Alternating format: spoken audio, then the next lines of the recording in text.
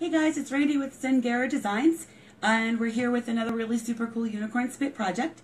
Today I'm going to show you guys how to get some awesome fall colors and make your own festive wall art for Thanksgiving or the fall season. So we're going to go ahead and put this aside and show you how to do this.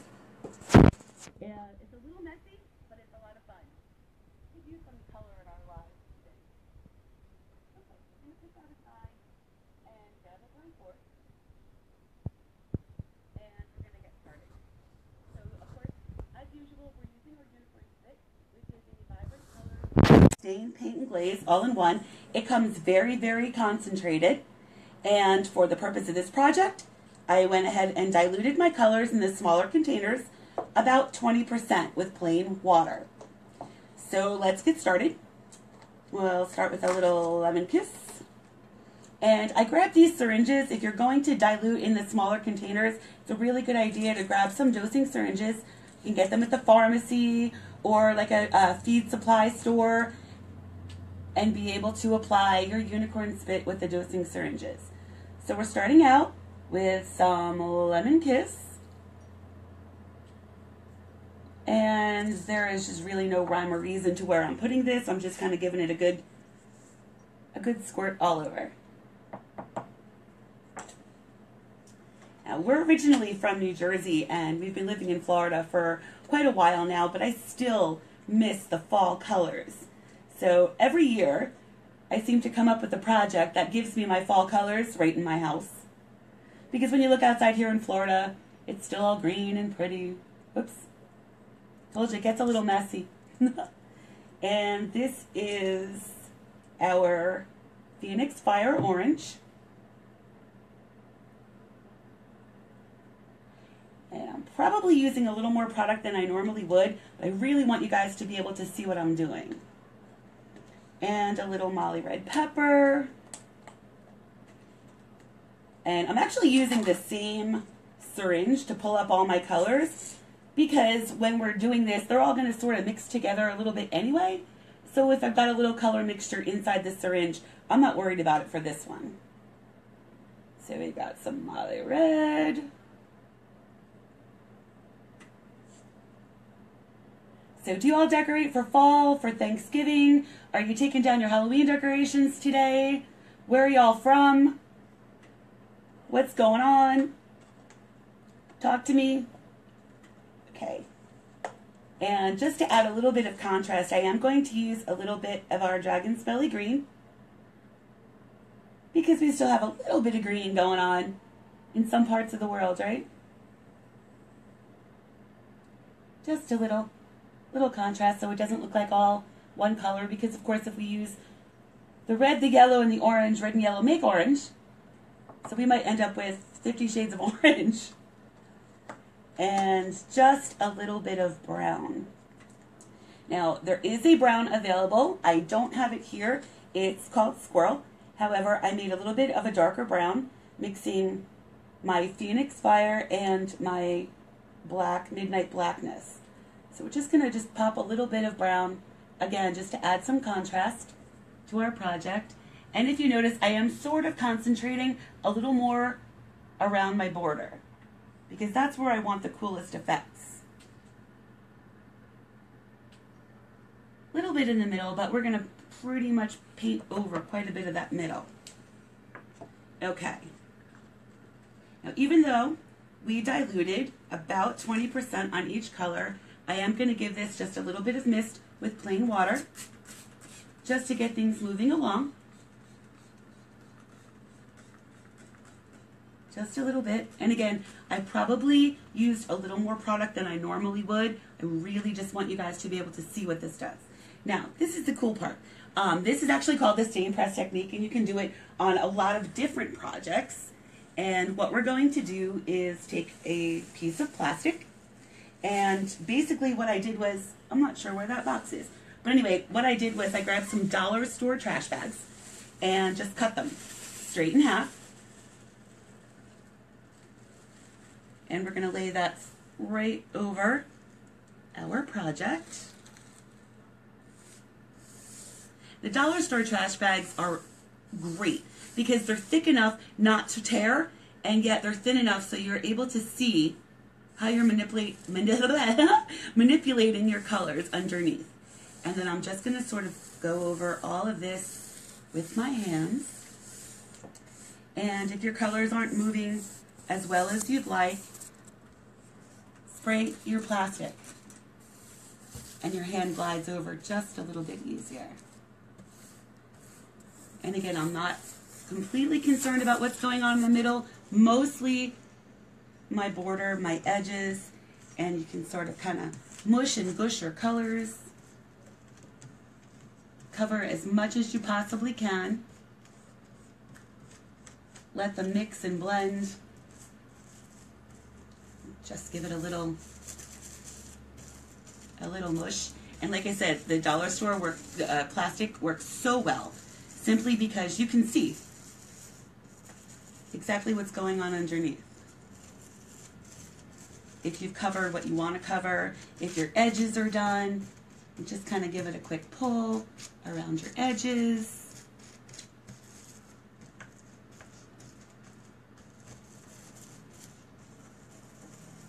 And you want to try to get rid of some of those spots because you really don't want it to look like an animal print with just a bunch of colored spots. So just manipulate the colors underneath your plastic. Okay, you guys, are you ready? This is so cool. Okay. And then carefully lift your plastic to get your colors underneath. All right. So as you can see, again, I'm not I'm not worried too much about the middle, but if you can see some of our corners and our edges how gorgeous those colors have blended together. Especially up here. Can you get that top corner, Nick? Before it all starts to run down the board. Okay. Depending on how thick your color is, it probably will take about 30 to 45 minutes for this to dry. Of course, we're not going to sit and wait for this to dry. When it's dry, we're going to put this aside, but when this is dry, it's going to be like a little dull and chalky, just like with our other unicorn spit projects. And what you're going to do is give it a quick coat of oil-based sealer. I love the Helmsman, the Spar Clear Gloss. Give your whole project a really quick coat of oil-based sealer. It's very important to do it at this particular step. Okay, ta-da! So this is one I did for you guys the other day, and it did come out a little bit darker. I think I have a little bit too much brown, but looks dry. We'll be able to, yeah, we'll be able to um, definitely get some cool effects with this. And this does have the coat of oil-based sealer over it already, so we don't have to wait for that to dry either. Okay, so then what I did was I went to my computer and I Googled leaf outlines and printed a bunch of leaf outlines on cardstock. If you use regular paper, it's a little bit too hmm. thin and it'll absorb um, the paint that you're going to use with this project as well. So cardstock's a really good idea. And I just Googled them, saved them, and printed them. I resized them. So we've got all kinds of really cool leaves, and then I cut them out. All right. As you can see, we're going to position them. And those who asked that they noticed that I'm not saying what the comments are, I'm sorry. My throat hurts. I'm just trying to save my voice as much as I can. Okay, but if the, if you guys have comments, I mean, you know, shout out. Nick will be all right. Absolutely. Okay, so we're gonna position. Whoops.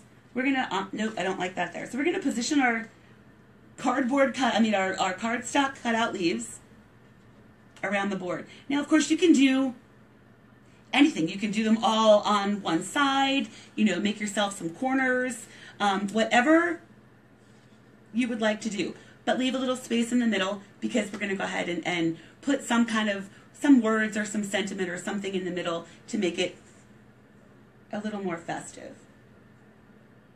Okay, now, I don't really have a favorite paints, so I'm just going to grab something that I came up with. I just mixed up a color. This is just a very light beige chalk paint. Grab your favorite paint and a paintbrush. and we're just going to dry brush right over these cardstock cutout leaves and over our entire project. So let's just load up and then offload a little bit because we're going to want to dry brush. With one hand, hang on to your leaf and the other, dry brush your paint over it.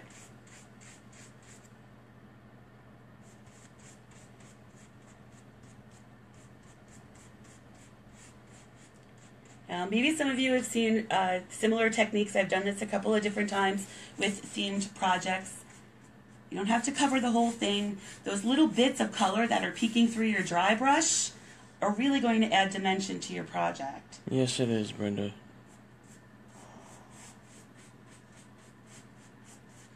What's up? You're asking if it's plywood. It is. It's just a plywood cut. Um, I'm very fortunate my husband will do these so I can use them as demo boards for you guys. I don't always have a large piece of furniture to demonstrate on, so he makes sure I have plenty of plywood cuts all the time. And you can, if you want to use it uh, for well as your sign, you can go to your local hardware store, your Lowe's or your Home Depot, and check out the cuts that they have there. Sometimes they actually have rounds if you want to do a round sign. And last project we did, I told you to really notice the grain if you're going to go, um, you know, pick some plywood cuts for your project. This one, not so much. You're not going to worry about the grain. Okay, so it does get a little messy, but we are dry brushing. This is just a, a chalk paint that I sort of mixed up in my lab here. And it's just a beigey color, little contrast to our bright, vibrant unicorn spit underneath. And just sort of work your way around the board, holding down your leaves and brushing over them. What's the size of this board again? Um, I think this is like a 16 by 14. This is a little bit larger.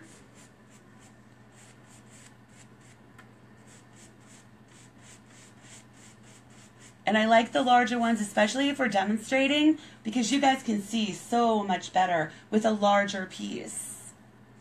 And certainly you can use any size that you would like. So do you guys decorate for fall? Do you decorate for Thanksgiving? Um, do you take the stuff down that normally hangs like in your dining area and replace it with some themed art? I love to do that. Take everything down, drive my family nuts, put all, a little bit more in the middle. Um, put all kinds of neat stuff up for the holidays and then take everything down, do it again for Christmas. Especially in my dining room, because it just seems like if you have people over, that's where everyone sort of congregates, your kitchen and your dining room. So I like that to look the most festive. Okay. So just a little more than a dry brush, and as you can see, some of my colors are starting to peek through, and I want that. Just adds a little bit of dimension. Okay, you ready for the big reveal, guys? Can y'all see this? And just pull up your leaves.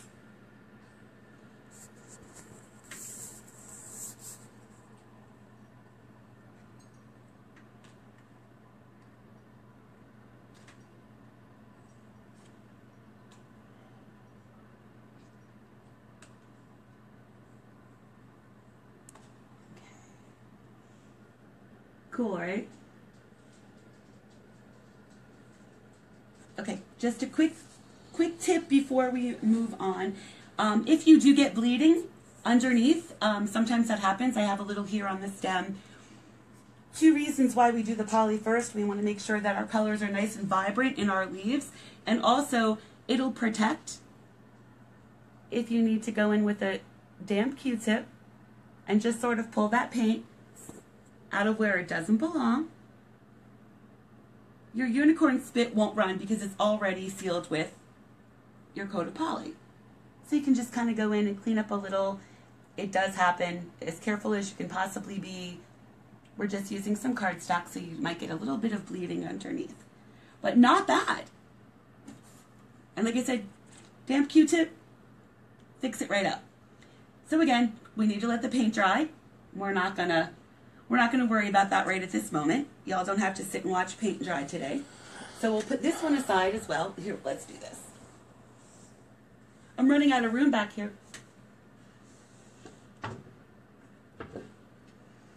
Oh my gosh, look, it's dry. Okay, um, this one is an, another one that I did. Um, as you can see, I was in a hurry to get all these done in stages for you, so I didn't do a lot of cleanup on the leaves. So let's make believe these are as perfect as the ones we just did. And again, I went back to Google because I don't have a Cricut, I don't have a vinyl cutter. Um, I do love the Mylar stencils, but I get a little crazy and buy too many.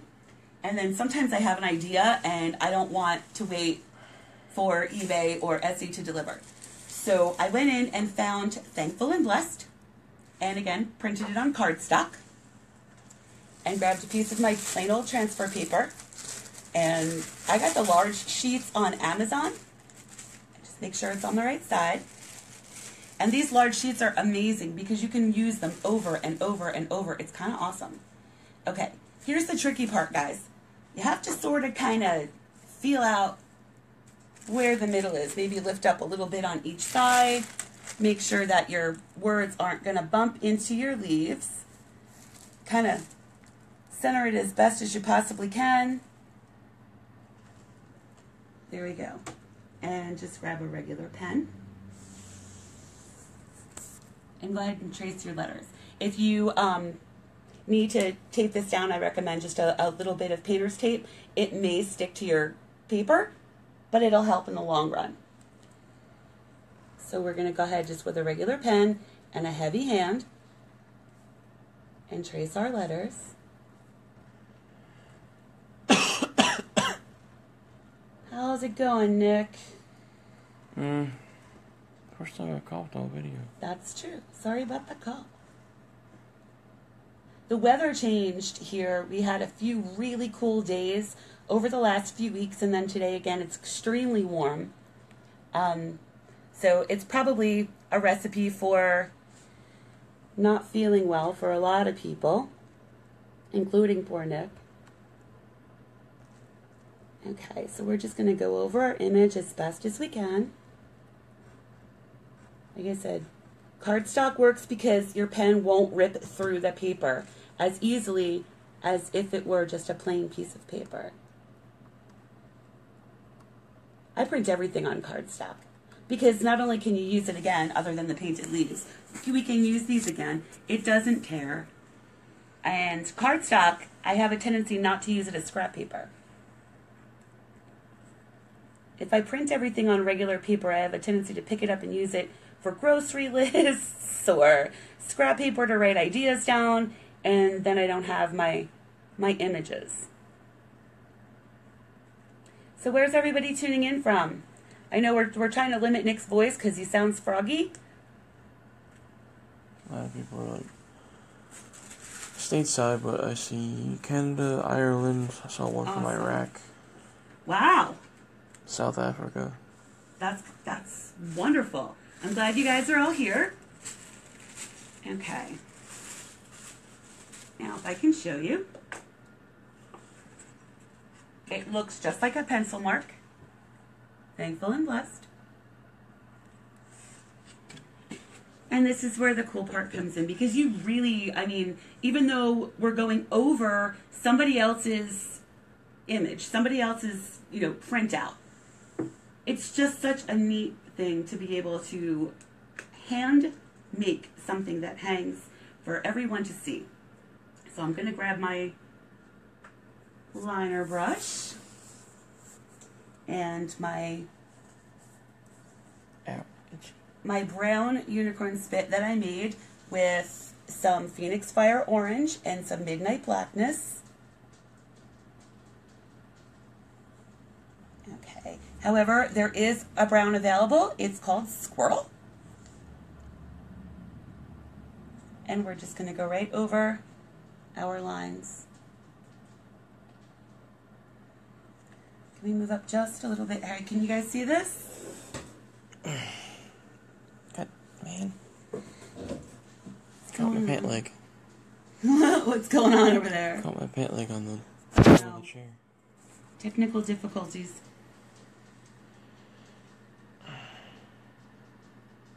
You know what's really cool? I should have done it for you guys, but while I'm doing this, we can talk about some alternatives. If you wanted to flip this over and do a Christmas one on the back, like the, you know something very similar, do Merry and Bright in the middle with a stain press Christmas tree or some ornaments all around it, and then you can just flip it over and have cool wall art for both parts of the holiday season. Would anybody want to do that? Would anybody try that? Good idea? Crazy idea? Let me know.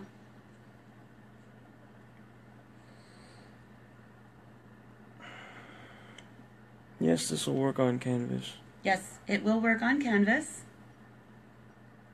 I happen to um, prefer wood canvases for a few reasons. Number one, it's a resource that I usually have readily available.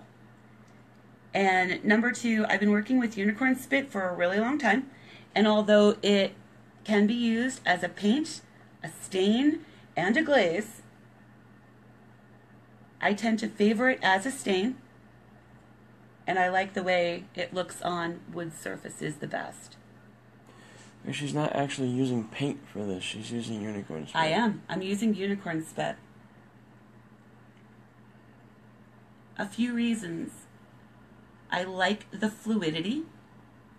Um, I do. I mean, you can you can dilute this to where you're comfortable using it, and also the color matches completely the unicorn spit we used to make our leaves. I sound that. yeah, I mean, I sound that way because I'm not feeling too well. Nick has some weird sore throat thing going on, some sinus thing going on, and we really think it's probably from that weather change that we had here in Florida. So sorry about the froggy voice, guys. But I'm not sorry because without Nick, I have no cameraman. So for Nick, I am thankful and blessed. See what I did mm. there?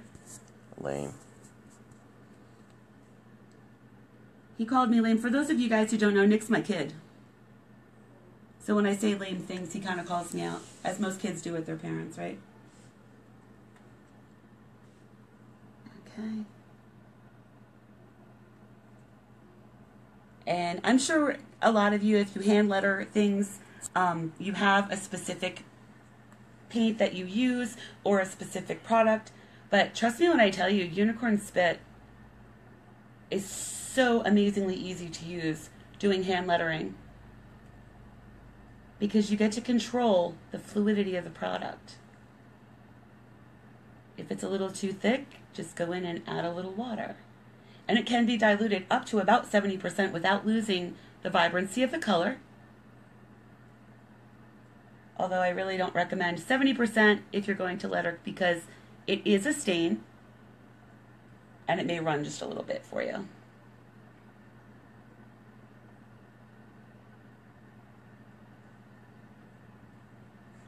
But if you guys can see how easy it's going on our project.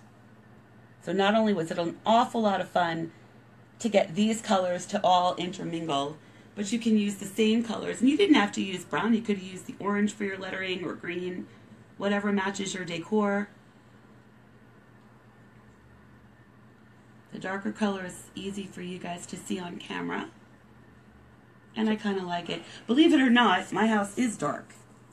I have a lot of dark um, decor in my house, and you would think my house would look like a rainbow because I use bright colors in all my projects. You guys, when you're asking what unicorn spit is, I'm. I'll, I'll repeat it. Just just say "Mom Unicorn Spit" and I'll repeat it. Oh, Mary Doherty's watching. Awesome. She's always watching. I know. Mary Doherty, if you guys see her in the in the comments, she's a retailer. She does sell unicorn spit. So she does know what she's talking about. Absolutely. So when she posts that, you know, it's a good idea to you know, read what she says. That's true. Um, typically, when we do one of our videos, there's someone in there helping us answer questions. Um, even when Nick feels well, he can't see all of them. And, you know, we're very lucky. We're very, very fortunate. We get a lot of viewers, and you guys ask really good questions. Um, typically, there's somebody in there helping out and answering your questions for you, but I certainly will. Let's go over Unicorn Spit again. It is a vibrant colored gel stain. It's a water-based product that is a gel, stain, paint, and glaze all in one.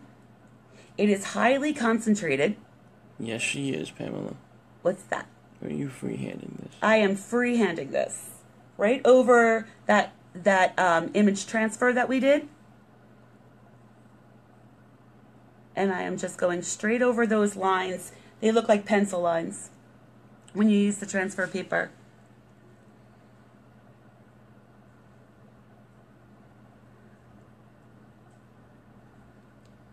But if you guys, if you're just tuning in and you haven't seen one of our videos before, I do a lot of work with Unicorn Spit. Primarily, that's the medium of my choice because there are so many things you can do with it.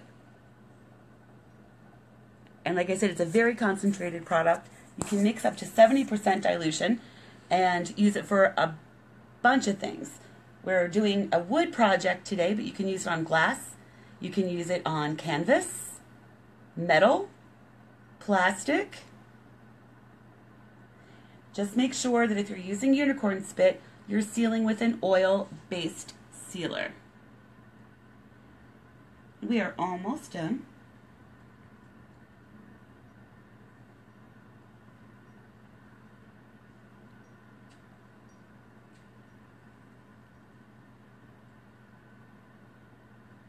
And for those of you guys tuning in, as soon as I get this done, we'll go ahead and go back over how I got the letters on here.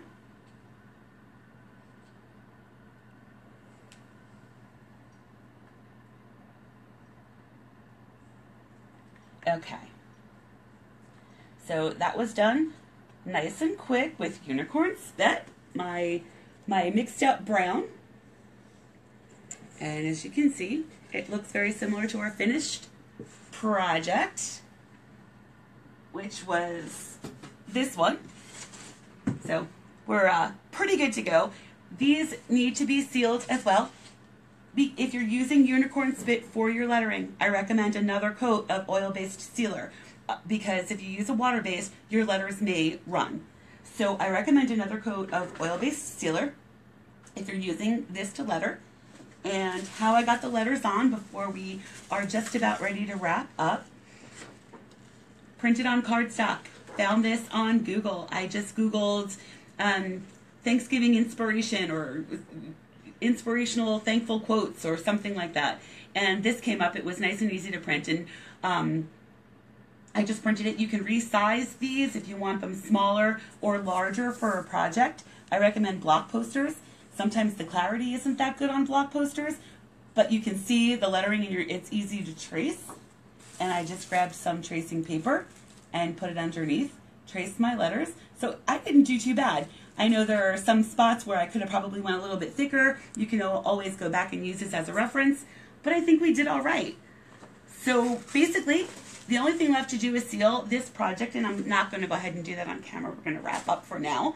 Um, like I said, we've got some fresh fall leaves, some gorgeous colors, hand-painted design for your, your wall art. Um, take down what you've got in there now and hang up some great stuff for Thanksgiving.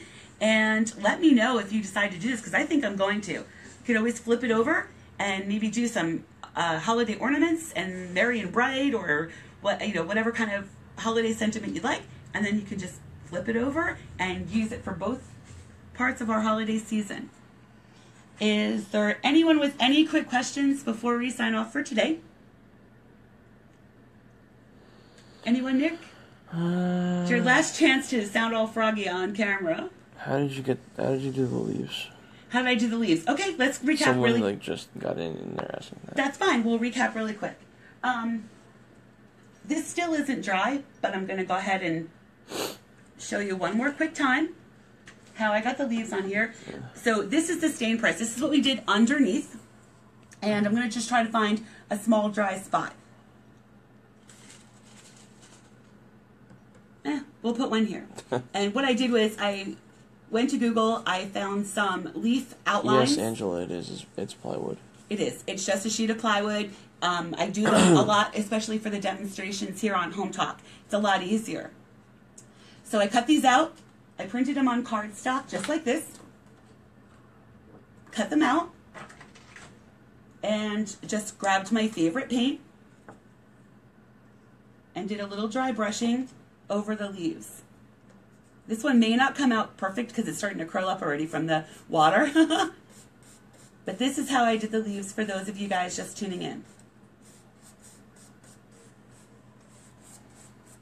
Yeah, it's starting to smear and I apologize because this is uh, not quite dry yet, but you'll get the idea. So I just kind of held it down and did a quick dry brush over my reverse stencil to get our leaf images. And I, I, I, apologize. I know that's not perfect, but my Unicorn SPiT underneath isn't quite, quite dry yet. I just wanted to go over that really quick, and thank you for asking that question. Anyone else before we go for today? How would you hang it if you did both sides? Good question. And I thought about that actually as I was saying it, and I will give you a good answer. I was thinking maybe we could just, because it is a plywood cut, maybe just get a couple of um, small eye bolts and screw them right into the top ledge. Just a few small little eye bolts and then use either some picture wire through them or some decorative string, some maybe some um, you know uh, like macrame jute, and then you can just flip it over. Or just one. Oh, since it'll be up against the wall. I mean, you can if you wanted to use one big one and then just be able to turn it. But typically, eye bolts are you know they're they're screwed in, so you can always just turn it a little bit and flip it over, or like I said, you know, run some picture wire through it and I think that's how you would be able to do a double sided. So maybe if we get a chance to come back, we'll do the other side for Christmas. Anybody else before we go? Where'd you get the tracing paper? Amazon.